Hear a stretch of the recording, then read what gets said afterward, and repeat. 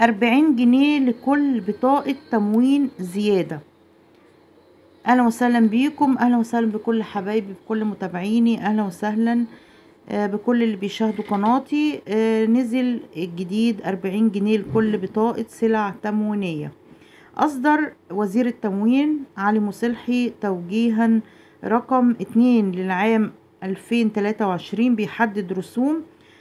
آه، إصدار واستخراج البطاقات التموينية بدل التالف والفائد والمستجدة مع تضمين ضمان سلامة البطاقة لمدة عام من التلف وبيعلن التوجيه الوزاري تحديد تكلفة إصدار البطاقة التالفة بقيمة أربعين جنيه مع تقديم ضمان لمدة سنة من تاريخ إصدارها. أربعين جنيه لكل بطاقة سلع تموينية. وبيتوجب على المواطن دفع رسم واستخراج قيمته خمسين جنيه للحصول على بطاقة جديدة بدلا من التالفة حيث آه، بيجب تسليم البطاقة القديمة لمكتب التموين وأربعين جنيه لكل بطاقة سلع تموينية بيتم إرسالها للمديرية ثم لمركز معلومات الوزارة آه، يعني لإلغائها نهائيا في حال تضرر البطاقة خلال عام. وبيتم استخراج بطاقة جديدة على حساب الشركة آه، أو شركة الإصدار. آه، استخراج بدل تالف أربعين جنيه لكل بطاقة للسلع التموينية والإجراءات لاستخراج بطاقة التموين المتضررة أو المفقودة عبر منصة اسمها منصة مصر الرقمية. طبعا أكيد أغلب الناس عارفاها منصة مصر الرقمية. بتشمل الوصول لمنصة مصر الرقمية وبعد كده بتنشأ حساب باستخدام الرقم القومي رقم البطاقة ورقم الهاتف المحمول والولوج لقسم التموين وطلب إصدار بطاقة آه، بطاقة بديلة لبطاقة التموين وإدخال معلومات البطال البديل أو التالف أولا. واختيار المحافظة المسجلة بالرقم القومي واختيار الإدارة التموينية المعنية واختيار مكتب التموين الأقرب لموقعك من القائمة.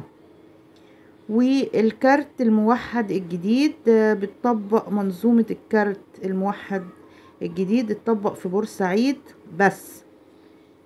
يعني هو دلوقتي كان بيدرس بس تم تطبيقه في بورسعيد فقط.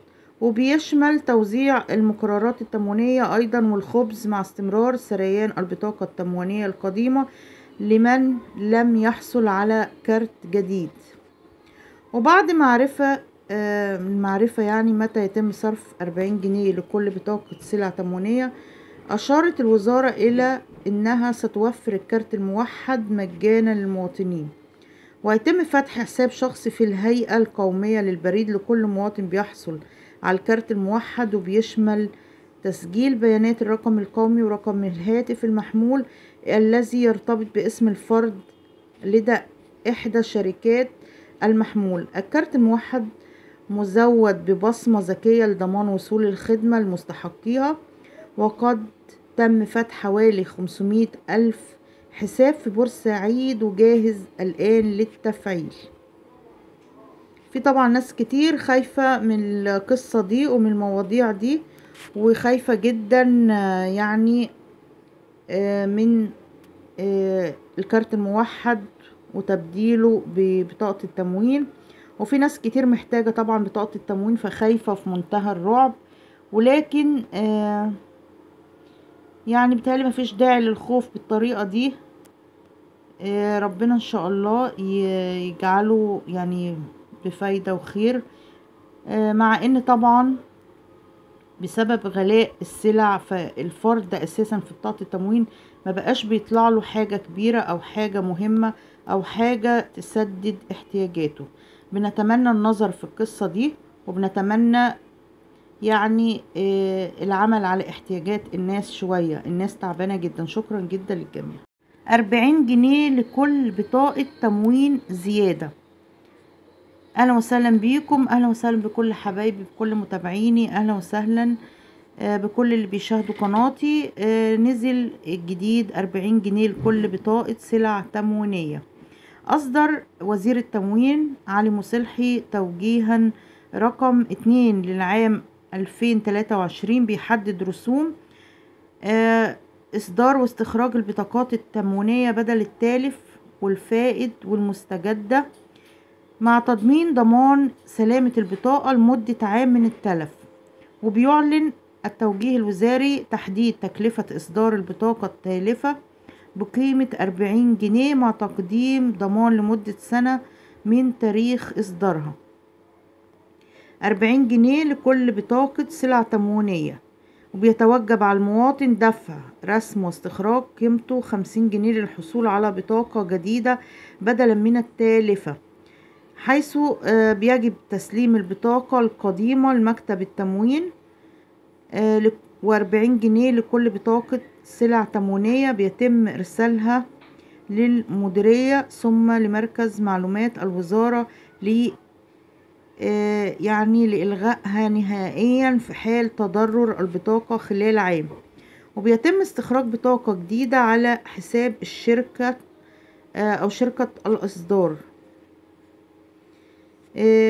استخراج بدل تالف أربعين جنيه لكل بطاقة للسلع التموينية والإجراءات لاستخراج بطاقة التموين المتضررة أو المفقودة عبر منصة اسمها منصة مصر الرقمية. طبعا أكيد أغلب الناس عارفاها منصة مصر الرقمية. بتشمل الوصول لمنصة مصر الرقمية وبعد كده بتنشأ حساب باستخدام الرقم القومي رقم البطاقة ورقم الهاتف المحمول والولوج لقسم التموين وطلب إصدار بطاقة آه، بطاقة بديلة لبطاقة التموين وإدخال معلومات البطال آه، البديل أو التالف أولا. واختيار المحافظة المسجلة بالرقم القومي واختيار الإدارة التموينية المعنية واختيار مكتب التموين الأقرب لموقعك من القائمة. والكارت الموحد الجديد بتطبق منظومة الكارت الموحد الجديد اتطبق في بورسعيد بس. يعني هو دلوقتي كان بيدرس بس تم تطبيقه في بورسعيد فقط. وبيشمل توزيع المقررات التموينية أيضا والخبز مع استمرار سريان البطاقة التموينية القديمة لمن لم يحصل على كارت جديد. وبعد معرفة آه، المعرفة يعني متى يتم صرف أربعين جنيه لكل بطاقة سلع تموينية أشارت الوزارة إلى أنها ستوفر الكارت الموحد مجانا للمواطنين ويتم فتح حساب شخصي في الهيئة